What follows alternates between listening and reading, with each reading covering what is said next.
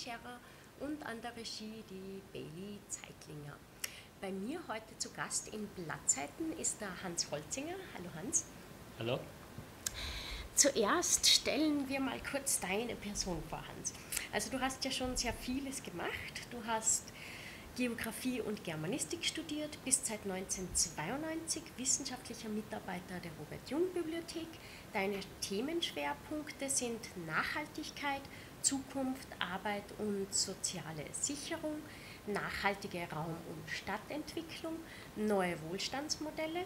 Du bist Moderator der Zukunftswerkstätten, du hältst Vorträge und Publikationen, Du warst Lektor an der Universität in Klagenfurt. Du bist der Mitherausgeber der Zeitschrift Pro Zukunft, die wir hier auch liegen haben. Genau. Mitglied des Entwicklungspolitischen Beirates des Landes Salzburg und des Salzburger Netzwerkes Bildung für nachhaltige Entwicklung und globales Lernen. Vielleicht bei deinen Vorträgen kannst du uns da zwei, drei Beispiele nennen? Ja, aber ganz herzlichen Dank für die Einladung. Äh, die Anfragen sind vielfältig. Das letzte mhm. war zum Beispiel eine Tagung des Landes Salzburg, das ist gegangen. Wie gehen wir damit um, dass die Gesellschaft, was so schön ist, oder dass wir immer älter werden? Welche mhm. Herausforderungen gibt es da für den Wohnbau, für das betreutes Wohnen, für die Pflege? Ein Thema, das sehr viel gefragt wird, ist interessanter, ist die Frage, wie kommen wir von dem, was wir wissen, zu dem anderen Handeln. Äh, wir wissen im Grunde, dass manches oder vieles schief läuft. Mhm. Aus der Zukunftsforschung hätten wir auch Konzepte, wie es anders gehen könnte, aber da gibt es die Kluft, wie kommen wir von dem einen zum anderen. Und wir haben jetzt einen neuen Forschungszweig Transformationsforschung und das wird öfter nachgefragt. Ja. Mhm. Bei deinen Publikationen gibt es ja auch mehrere Seiten wo wir aber, da würde ich einfach empfehlen, auf die Seite von der Robert-Jung-Bibliothek zu schauen und zwar unter www.jung-bibliothek.at. Da könnt ihr euch dann die Publikationsliste vom Hans Holzinger anschauen.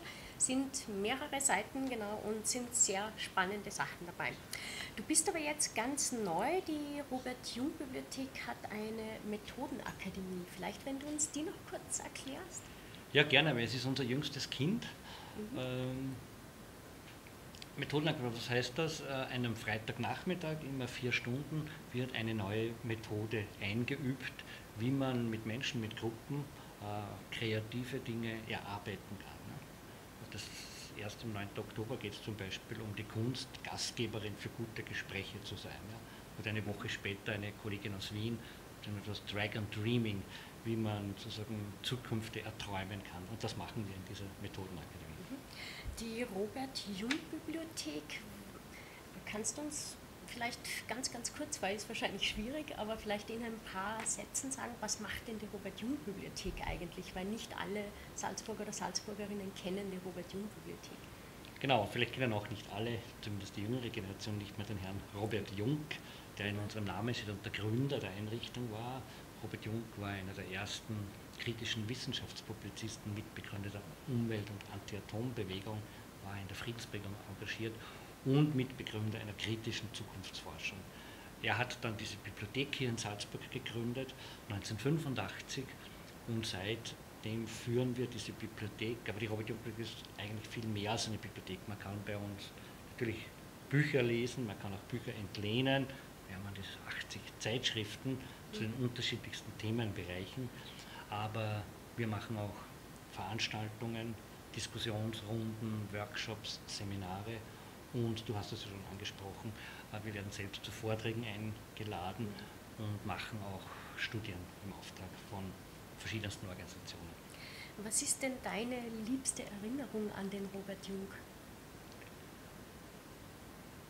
Äh, ich habe ihn kennengelernt, ich habe studiert in Salzburg, wie du gesagt hast, und habe dann in der Friedensbewegung gearbeitet und da habe ich ihn dann öfter zu er hat bei uns bei Demonstrationen gesprochen, einladen können. Es war nicht sehr leicht, weil er ja in aller Welt unterwegs war, obwohl seit 1970 hier in der Steingasse wohnend, war er ein Kosmopolit, der war in der Welt unterwegs.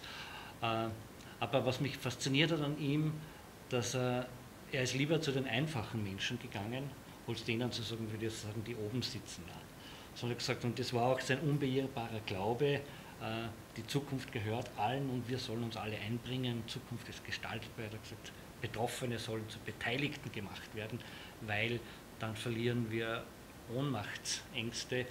Dann kann man auch, was er jetzt leider sehr aktuell geworden ist, sagen, einem Rechtsruck entgegenwirken, wenn Menschen beteiligt werden, sind sie weniger anfällig für, für, für Verführungen verschiedenster Formen. Ja.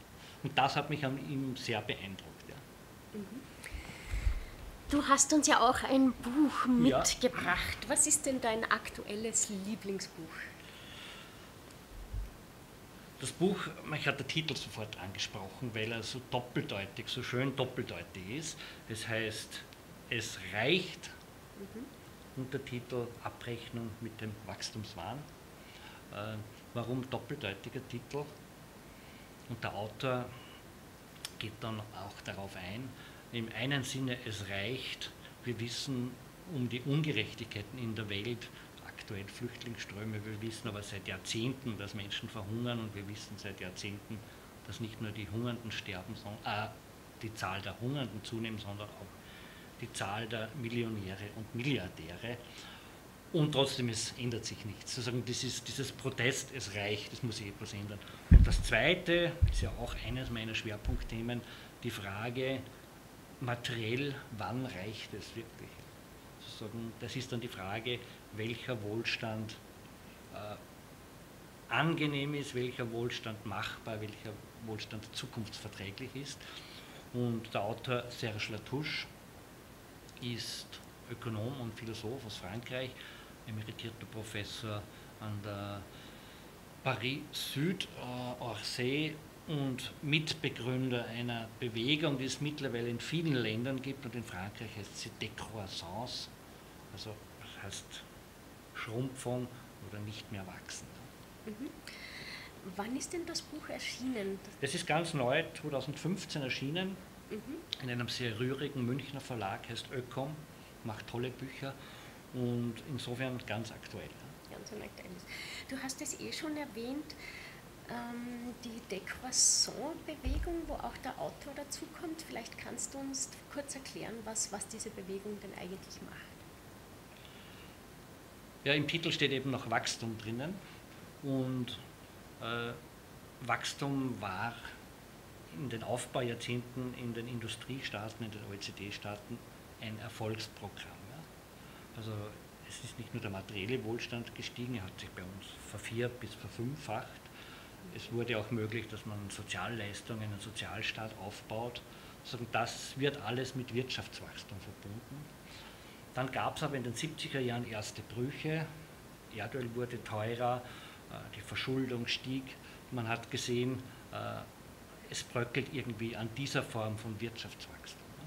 Und jetzt gibt es seit fünf, sechs Jahren eine neue Bewegung, äh, zum einen von Menschen, Bürgerinitiativen, Nichtregierungsorganisationen, die sagen, wir brauchen eine andere Form von Wachsen oder wir brauchen etwas anderes von, als Wachstum.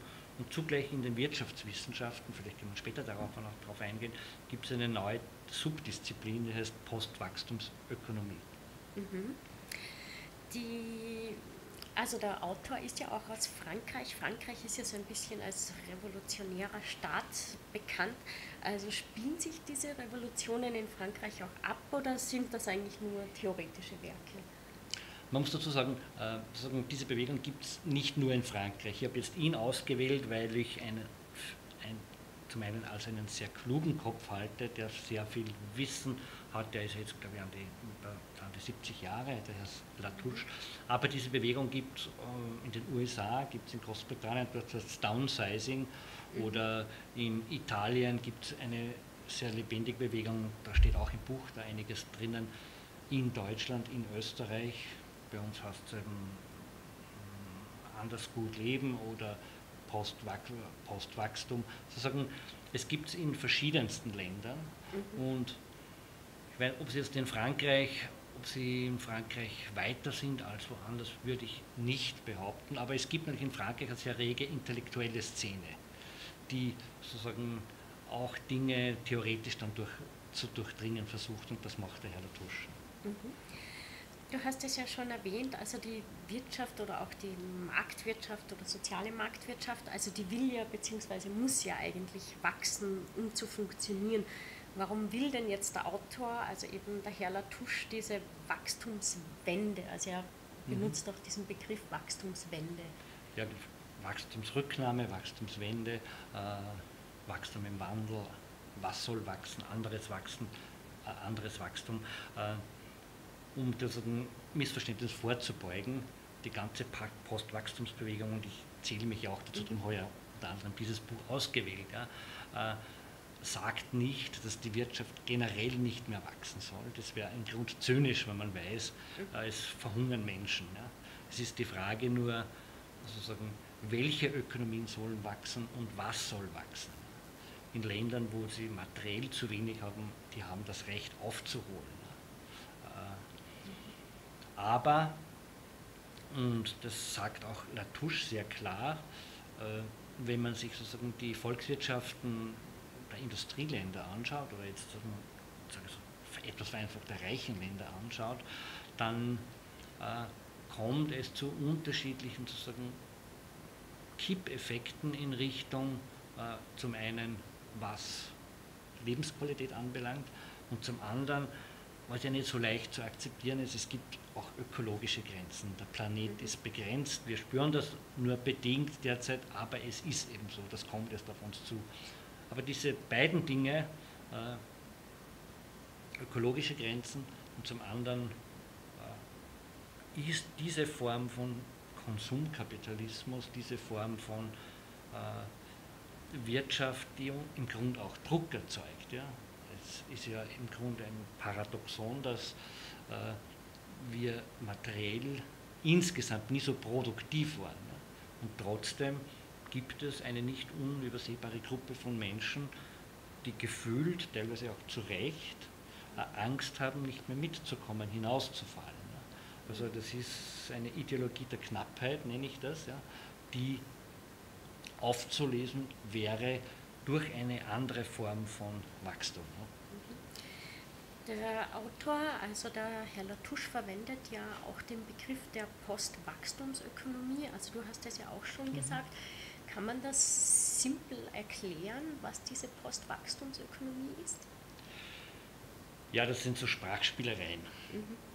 Äh, es gibt auch Begriffe wie äh, Postdemokratie, das ist eine Warnung eines britischen Politikwissenschaftlers, der sagt, wir haben ein demokratisches Zeitalter gehabt, wir laufen jetzt Gefahr, in ein postdemokratisches Zeitalter zu kommen.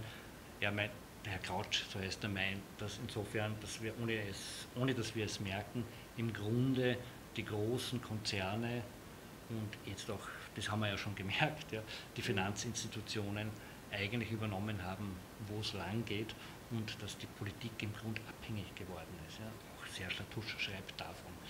Und da wird jetzt bewusst auch dieser Begriff Post fast nach. Ja, sozusagen, es hat eine Ära gegeben mit erfolgreichem Wirtschaftswachstum und um diesen Wandel anzudeuten, sagt man jetzt, jetzt ist angesagt eine Ära nach dem Wachstum. Das meint dann Postwachstum. Mhm. Da gibt es dann verschiedenste Aspekte, die natürlich zu behandeln sind. Äh, es geht nicht ohne Brüche, es geht nicht ohne Friktionen, aber das sagen auch viele Ökonomen, Ökonomen, es geht. Mhm. Ist jetzt eigentlich, also für diese Postwachstumsökonomie oder auch was, was jetzt der Autor schreibt, es ist ja ein Umdenken nötig. Also ein Umdenken auch in der Kultur und auch mit bei materialistischen Gütern. Ist es denn realistisch, was der Autor fordert? Es kommt immer darauf an, was man anschaut. Das eine ist sozusagen die, die volkswirtschaftliche Ebene und das ist im Grunde reine Mathematik. Also es ist unmöglich, dass eine Volkswirtschaft permanent weiter wächst. Also das haben frühe Ökonomen schon gesagt, ja, von Adam Smith, John Maynard Keynes, einer der Großen, haben gesagt, irgendwann hört das Wachstum auf, einfach weil es gar nicht möglich ist. Jetzt kann man sozusagen vereinfacht darstellen, äh, in der Natur gibt es Wachstum, aber irgendwann hört der Baum auf zu wachsen. Ja? Auch der Mensch wächst. Wächst, aber irgendwann ist er ausgewachsen. Das wäre so ein organisches Wachstum. Aber was jetzt bis jetzt in der Volkswirtschaft äh, angenommen wurde, ist, äh, jede Volkswirtschaft wächst jedes Jahr, sagen wir, um früher 5, 6, 7 Prozent, jetzt sind es 1 bis 2 Prozent. Aber wenn ich ein hohes Ausgangsniveau habe und dann nochmals 2 Prozent dazu gibt, dann wird das ja von dem schon hohen Ausgangsniveau immer noch mehr. Insofern ist prozentuelles Wachstum ist im Grund mathematisch nicht möglich. Also wenn ich es an einem Beispiel sagen kann, Deutschland oder Österreich hat in den 60er Jahren 7% Wachstumsrate gehabt und hat jetzt vielleicht 1%, aber die 1% jetzt sind absolut viel, viel mehr als, das ein, als das, die 7% damals. Oder man weiß auch, 1% Wachstum in Österreich bedeutet etwa jetzt 7% Wirtschaftswachstum in China. Oder hochgelegt auf Nigeria wären es bei 50 Das ist das eine. Also, dass man davon sich verabschieden muss, jetzt weil es gar nicht anders geht, dass diese Form von Wachstum vorbei sein wird. Und die zweite, die du angesprochen ist dann die Frage, wie weit und ob uns noch weiteres Wachstum eigentlich die Lebensqualität erhöht. Und ich glaube, darauf wolltest du genau, hinaus. Genau, darauf ja. möchte ich auch hinaus. Ja. Weil ich glaube ja auch, die Menschen sind ja auch schon sehr materialistisch eingestellt oder auch schon sehr bequem eigentlich eingerichtet in dieser mhm. Marktwirtschaft. Ja, ich glaube, es gibt auch bei uns natürlich Menschen, die an der Armutsgrenze sind, von denen rede ich jetzt nicht. Ja. Äh, aber ich rede von denen, die eigentlich im Grund materiell doch genug haben. Und da muss jede, jede für sich dann schauen, ob solche eigentlich Fallen gibt, Konsumfallen, wo ich dann doch noch mehr kaufe, obwohl ich es eigentlich nicht mehr brauche. Also es gibt klassische Beispiele wie der übervolle Kleiderschrank. Ja. Mhm. Und dann geht es zum Fortgehen und dann entsteht der Stress, was ziehe ich heute an. Und dann greift man wieder auf die eh beliebten Klamotten zurück. Es soll Geschichten geben, dass zu Hause tausend, äh, äh, hunderte Paar von Schuhen herumstehen mhm. und die Leute aber dann sagen, nee, das nicht anziehen können. Oder wenn man den Kühlschrank übervoll hat, dann passiert es eben, dass Dinge we äh, weggeworfen werden, weil man eben die Übersicht über die Ablaufdaten verloren hat. Ja. Mhm. Äh, das ist auf der ganz persönlichen Ebene. Ich schreibe es niemand vor. Ja. Aber es gibt eine Bewegung auch von jungen Leuten, die sagen, äh, Aufbaugeneration hat sozusagen aufgebaut und war Besitzen ganz was Wichtiges. Ja. Die junge Generation sagt, wichtig ist eigentlich, dass ich Zugang habe, dass ich dabei sein kann. Ja. Gibt es Beispiel Auto, in der jungen urbanen Gesellschaft ist der Besitz eines persönlichen Autos nicht mehr so wichtig, kein Statussymbol, sondern die wollen halt mobil sein. Ja? Ja, das ist dann schon diese Share Economy eigentlich. Zum Beispiel, ja genau. Teilen und dabei sein, aber. aber, aber hm. genau, weil ja. das heißt, man, es gibt, glaube ich, auch mittlerweile so Bewegungen, wo man dann auch Werkzeuge teilt oder eben mhm. auch dann gemeinsam halt Kühlschränke befüllt. Genau, genau das geht in diese Richtung. Mhm der Autor, also Latouche, er schreibt ja von den sieben großen Rs. Mhm. Die sind dann auch in zwei Gruppen eingeteilt, wenn ich das richtig verstanden habe. Die ersten drei beziehen sich auf neue Werte, Bewertungen und die Natur. Also kannst du uns vielleicht diese ersten drei Rs nennen? Ja, die klingen ein bisschen äh, abstrakt, aber sie sind, mhm. glaube ich, ganz spannend. Das erste nennt er Re-Evaluierung. Das heißt, wir sollen uns anschauen, äh, ob das, was wir jetzt als Wohlstand ansehen, was wir als Wohlstand messen, wirklich das ist, was äh, Lebensqualität ausmacht. Ja. Am Beispiel des Bruttoinlandsprodukts. Äh, das Bruttoinlandsprodukt misst alles, was sozusagen über Geld läuft. Ja. was hat erwirtschaftet wird. Was erwirtschaftet wird. Es ist jetzt so absurd, wenn es zum Beispiel einen Autounfall gibt, ja, dann erhöht das das Bruttoinlandsprodukt, weil ja der Autohändler, der Mechaniker mhm. verdient daran. Ja selbst Krankheitskosten werden ins BIP positiv eingespeist. Mhm. Äh, und andererseits misst das BIP nicht, was zum Beispiel an Naturzerstörung passiert oder wenn Menschen jenseits der, der, Geldökonomie was tun, Nachbarschaft oder wenn ich Kinder erziehe, das wird alles nicht erfasst. Ja. Mhm. Und da gibt es jetzt eine Bewegung, die sagt, wir brauchen eine neue Wohlstandsmessung. Latouche meint das mit Re-Evaluierung. Ja. Und das zweite wäre dann Rekonzeptualisierung, dass man eben die Konzepte von Wirtschaftsentwicklung neu schreibt, umschreibt. Und das dritte, da müsst ihr jetzt selbst nachschauen, mhm. neben der Rekonzeptualisierung nennt ihr dann die Restrukturierung. Jetzt habe ich es ja. wieder. Was mhm. meint das, wenn ich es kurz an einem Beispiel sage? Äh, also wer mit Volkswirtschaft zu tun weiß, dass Wirtschaft immer im Wandel war. Es gibt ja den Fachbegriff Strukturwandel. Mhm. Und wenn wir jetzt wissen, zum einen diese Form von Mobilität, Automobilität ist weder zukunftsverträglich noch, wenn man sich die Städte anschaut, äh, eigentlich lebensqualitätsverträglich, weil ja eigentlich sozusagen die urbanen Räume, die Städte würden ja uns Menschen gehören und nicht den Autos. Ja, aber, aber was heißt das, wenn man sozusagen eine andere Mobilität entwickelt und dann auch ernsthaft umsetzt? Bedeutet es das natürlich, dass die Autoindustrie ins Schwanken, ins Wanken gerät. Ja. Jetzt kann man sagen, ja, das darf nicht sein, ja, jeder sechste Arbeitsplatz liegt an mhm. der Autoindustrie. Oder man sagt, äh, Arbeitsplätze kann man auch woanders schaffen. Ja. Und okay, Autoindustrie darf, soll schrumpfen. Man weiß, der Bankensektor ist völlig überdimensioniert. Ja. Wir bräuchten gar nicht so viele Banken, um das, was sozusagen halt die Wirtschaft an Kapitalzufuhr braucht von den Banken. Und das wäre dann gemeint mit Restrukturierung. Aber wo, also schlägt der Autor auch vor, in wo oder in welchen Bereichen er dann diese Arbeitsplätze, die dann in diesen Bereichen mhm. verloren gehen, wo würde er die schaffen? Hat er da Vorschläge? Ja, das geht dann über auf, sozusagen auf die vier spannenden äh, Rs von fünf, die, die, die nächste Gruppe vier bis sieben, Rs, die nächste genau. Gruppe, genau. Äh, sozusagen große Hoffnung wird gesetzt im Bereich äh, Ernährung, Ernährungssouveränität, mhm. äh, hohe Qualität an Lebensmitteln, was zugleich auch hieße, sozusagen die Konsumprioritäten etwas neu zu justieren. Äh, man könnte ganz Europa, gibt es eine Studie, biologisch ernähren. Mhm. Es gäbe eine Bedingung, dass man den Fleischkonsum halbiert. Ja. Das sind vor allem wir Männer gefragt. Ja. ja äh, äh, stimmt. Aber man kann auch sozusagen im, im Haushaltsbudget umstrukturieren. Äh, das wäre sozusagen Lebensmittel hoher Qualität. Ja. Äh, das Zweite, das wird kommen, obwohl es natürlich jetzt hinaus geschoben wird, wäre sozusagen der um, der Umstieg auf erneuerbare Energiequellen. Ja. Wenn das Erdöl nicht mehr sprudelt, dann wird Energie dezentraler erzeugt. Ja. Aber das alleine macht es natürlich nicht aus. Ja. Äh, Latouche spricht hier davon Relokalisierung. Mhm.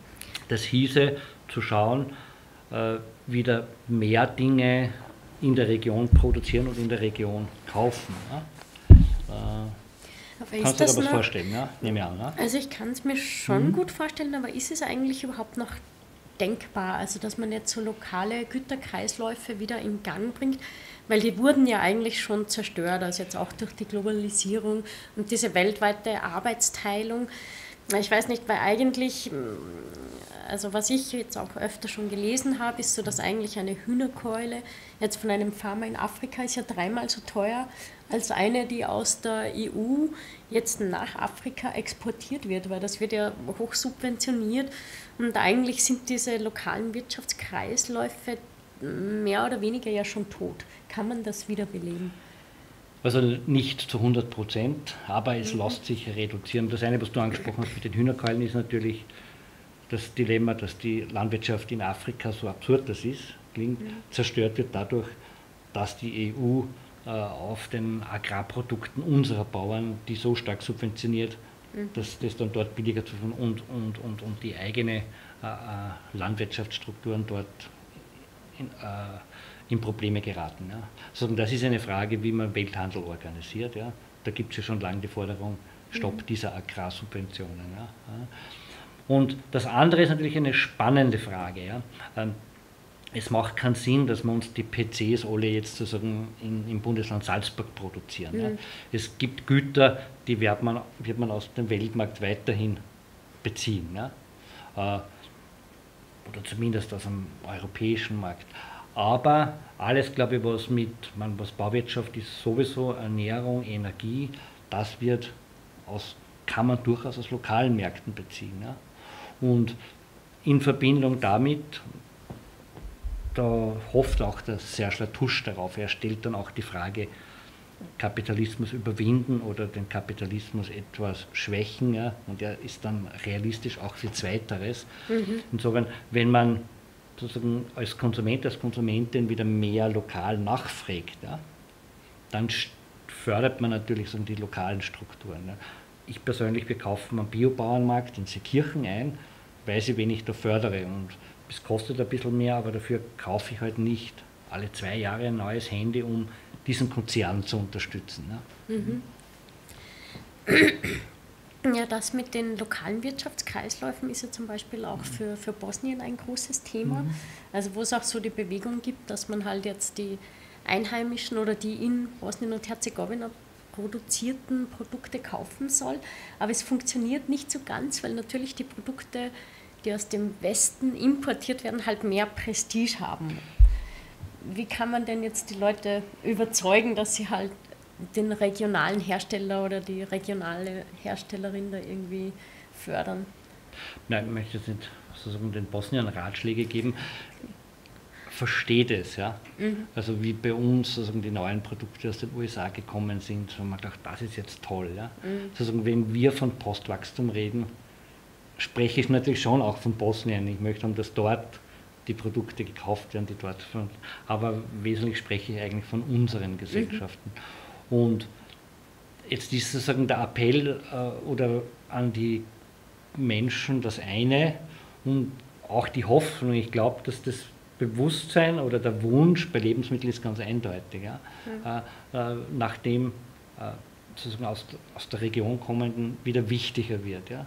Äh, aber es kann sogar sein bis hin zu was ich, wenn man sich Industrie 4.0 anschaut oder durch die Computerisierung, Automatisierung, dass man sich die Dinge, auch materiell, die man braucht, wieder vor Ort produziert. Ja? Das ist durchaus in Zukunft auch denkbar. Das ist sagen wir, die Bewusstseinsfrage, dass Menschen sagen, ja, das ist mir wichtiger geworden. Ja? Und wir könnten uns das bei uns leisten. Ja? Die zweite Ebene ist natürlich, äh, das wäre dann mit Steuern zu steuern. Ja? Also Transportkosten sind natürlich viel zu billig. Ja? Und gerade sozusagen für die Flugbenzin kostet nichts und auch der Treibstoff für diese großen Schiffe kostet nichts und begründet wird es damit, weil man den Welthandel unterstützen will. Das stimmt, da widerspricht sich das eine mit dem anderen. Ja. Insofern ist das die zweite Forderung, eben höhere Ressourcensteuern, höhere Steuern auf Energie. Ja. Mhm. Aber ist das jetzt eigentlich so ein massentaugliches Konzept, dass man eben nur lokal einkauft mhm. und vielleicht auch mhm. biologische Produkte oder ist das dann so, dass sich das eigentlich nur eine kleine Elite leisten wird können? Das ist ein wichtiges Stichwort. Also eins der R von Serge Latouche heißt Redistribution. Das heißt eine andere Verteilung. Mhm. Und sozusagen Postwachstum geht nur mit dieser anderen Verteilung. Das heißt, wie kann man sich das vorstellen? Äh, wir produzieren nicht mehr mehr, wir produzieren auch anderes, aber es wird sozusagen besser verteilt. Ja. Das heißt, äh, Stichwort wird am gebracht, ja, das können wir uns nicht leisten, weil wir jetzt schon Arbeitslosigkeit haben. Mhm. Aber zum einen ist es so, dass sozusagen die Vollzeit wird der Trend, äh, es gibt immer weniger Vollzeitarbeitskräfte. Jetzt kann man sagen, das ist problematisch. Man kann aber auch sagen, ja, das Ziel ist ja, dass wir halt so viel arbeiten, dass wir uns das erwirtschaften, was wir brauchen.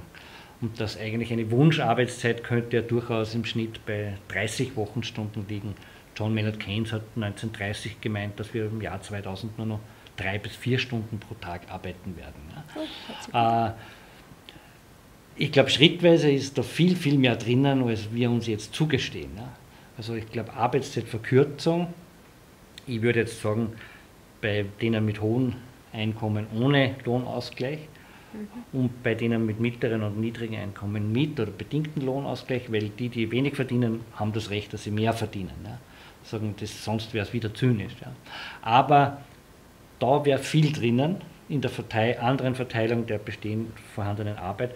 Und das Zweite, einfach eine andere Verteilung äh, des Vermögens. Ja. Das braucht man aus verschiedensten Gründen.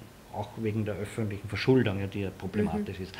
Aber, und da bin ich nicht so pessimistisch, wenn das offensiver gefordert würde, sind die Reichen durchaus bereit, das abzugeben, aber es macht es jetzt kaum mehr freiwillig. Ja. Würde das auch eigentlich dann die Zeit für Lebensqualität steigern, wenn wir weniger arbeiten würden?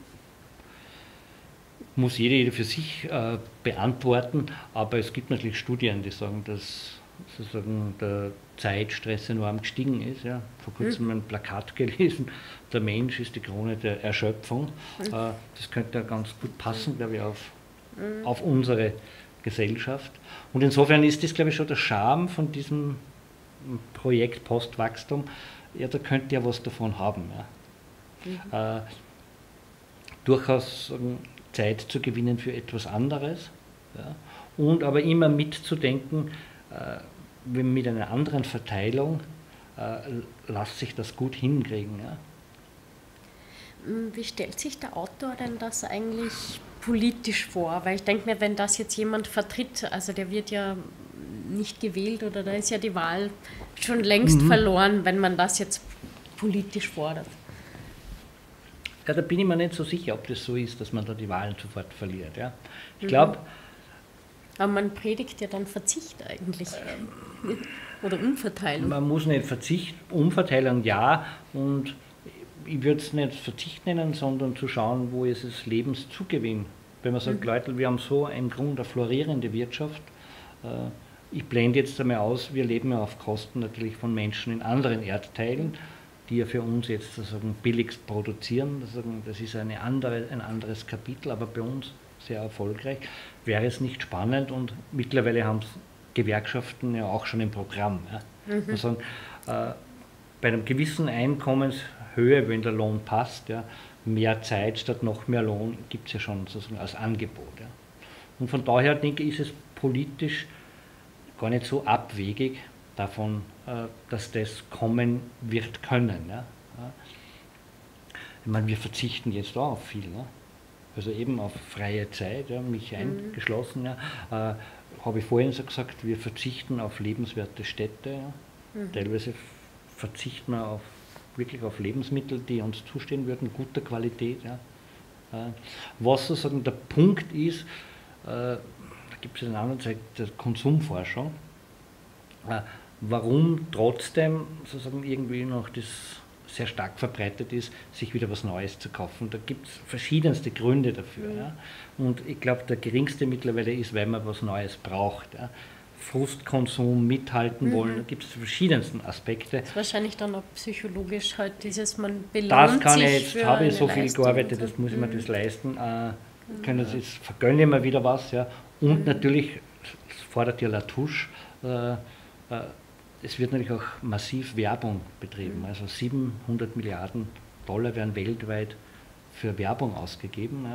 Äh, das ist ja die größte Form von Bildungsmaschinerie oder Unverbildungsmaschinerie. Da wird zum Beispiel gefordert, dass Werbung nicht steuerfrei ist, sondern dass man halt eine Werbesteuer macht. Ja? Und als ein kleiner Vorschlag. Ja, mhm. ja aber das mit der Werbesteuer ist eigentlich vielleicht eine, eine gute Idee, die auch lenken könnte. Das kommt ja noch dazu, weil im Grunde, je größer der Konzern, umso mehr größer ist sein Werbebudget. Mhm. Also die haben ja da Vorteile, die können viel massiver werben als das kleine Unternehmen. Das hat auch nicht so viel Werbebudget, wird man sozusagen da auch einen mhm. Ausgleich schaffen. Ne? Es gibt, glaube ich, auch so, es hat einmal so eine Studie gegeben, wo, wo untersucht wurde, wie jetzt ein großer Getränkehersteller das macht. Das heißt, er ist eigentlich, wenn ich so durch eine Innenstadt gehe, ist eigentlich alle halben Meter quasi sehe ich dieses Sujet eigentlich von denen irgendwo. Und natürlich glaube ich, wenn man dann vor dem Regal steht, dass man dann halt zu dem hingreift, das man halt so oft sieht. Ne? Mhm.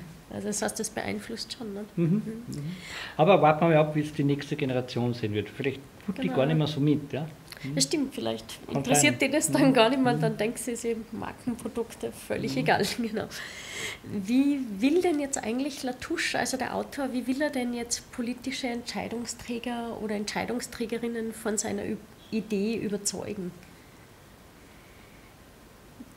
Ja, Latouche sozusagen kommt aus sozialen Bewegungen.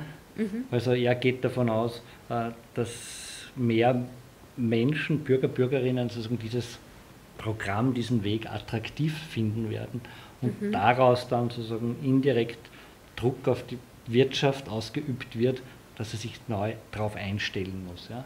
Er hat dann natürlich schon einen Katalog an Vorschlägen an die Politik, aber der ist eh bekannt. Ja. Mhm. Das sind Vermögensteuern, Umweltsteuern, äh, Arbeit verteil, neu verteilen, äh, Arbeit auch weniger steuerlich belasten und dafür sozusagen Ressourcen mehr zu besteuern mhm. oder auch den Welthandel besteuern, Rüstung besteuern, sowieso Finanztransaktionen, um mhm. diese Form von Umverteilung hinzukriegen. Aber was er, worauf er am meisten hofft, ist sozusagen, das wird eine neue Bewegung von unten sein. Ja? Die also, sagt, wir, wir tun nicht mehr mit in dieser Form von Konsumkapitalismus. Ja? Also eigentlich geht es ja da um eine Revolution von unten, oder? Ja, aber natürlich nicht Revolution im Sinne von, jetzt enteignen wir die Konzerne, mhm. äh, nehmen denen alles weg, sondern zum einen natürlich neue Reglementierungen, wo sie notwendig sind, äh, andere Formen von internationalem Steuerwesen, weil Konzerne ja immer ausweichen können jetzt. Ja. Mhm. Äh, aber Revolution in dem Sinne, dass sich Gruppen bilden, die sagen, uns reicht's, wir tun einfach nicht mehr mit oder wir tun nur noch schrittweise mit. Ja. Mhm. Mhm. Ja, dann eigentlich, also du würdest das Buch auf jeden Fall empfehlen, klarerweise. Genau.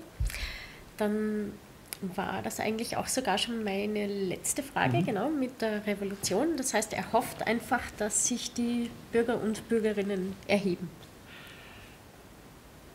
Ja, erheben tut man sich, wenn man gegen was demonstriert. Ja? Mhm. Und das ist natürlich auch im Sinne von Serge Latouche, wenn es jetzt sozusagen ein neues Welthandelsabkommen zwischen den USA und Europa geschlossen würde, wo im Grunde die großen Konzerne eigentlich noch mehr Vorteile sich herausholen wollen, dagegen ist zu protestieren oder wenn, wenn man sozusagen eine andere Verteilung des Vermögens will, darin ist zu protestieren.